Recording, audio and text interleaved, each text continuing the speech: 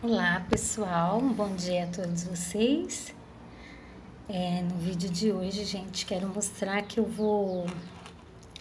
Eu tenho esses franciscos baldes aqui, né? Nessa. É tipo um bulizinho, eu acho tão lindo esse bule, gente. O que, que aconteceu com essa? Essa planta é bem resistente, né?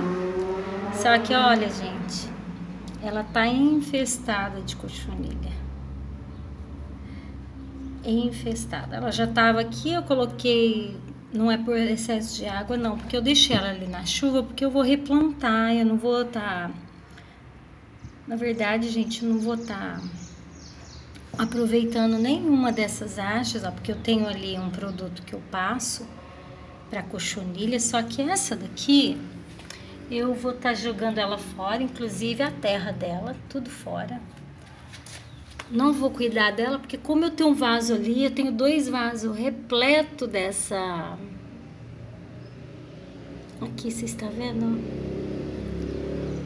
Tenho dois vasos repleto dessa, dessa suculenta. Eu vou jogar tudo fora e vou estar tá fazendo replantio. E já já eu mostro para vocês como que ficou, tá bom? Até já, pessoal. Aqui tá, pessoal. Então, o resultado do cacto, né? Que eu tinha ali, estava na chuva, gente, estava com muito excesso de água. E eu acredito que ficou bem mais bonitinho, né? Do jeito que tava. Eu tinha essas mudinhas, eu não tenho muito. Esse cacto, esse ano, ele já floriu. E aí, pessoal, com essa... Com esse replantio, quero deixar aqui minha mensagem de ano novo para vocês que o Senhor Deus abençoe cada um de vocês ricamente. E também quero deixar uma palavra, gente. Eu sei que nós viramos o ano, né? Isso é coisa do ser humano.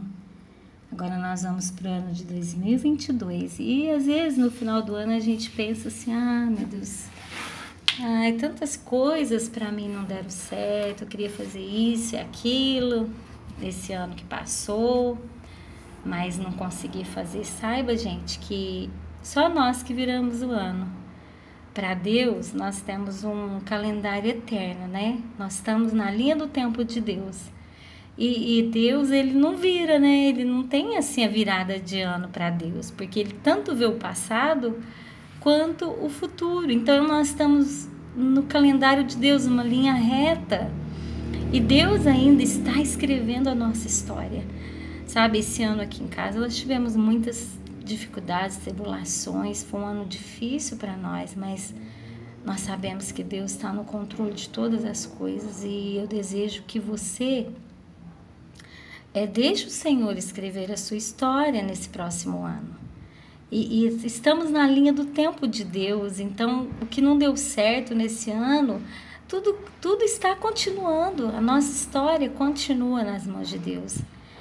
E assim que você colocar a sua vida na presença de Deus, aos cuidados de Deus, tudo dará certo. E eu desejo realmente que tudo dê certo na sua casa, na sua família. E a Bíblia ela tem um versículo tão lindo, ela fala: "Deleita-te no Senhor, e ele concederá os desejos do seu coração". E essa mensagem, esse versículo eu deixo para mim e para você nós possamos descansar em Deus nesse próximo ano e que Ele venha escrever uma nova história em nossas vidas. Deus abençoe, quero agradecer a vocês que me acompanham. Tem meninas que me acompanham, como a Sandra, Sandra Alves, que me acompanha, também outras pessoas, mas eu me lembrei do nome dela, que sempre está ali presente no meu canal. E não só ela, mas todos vocês que têm se inscrito. Deus abençoe vocês ricamente. Peço que você fique no meu canal. Quem sabe esse ano eu consiga postar mais vídeos.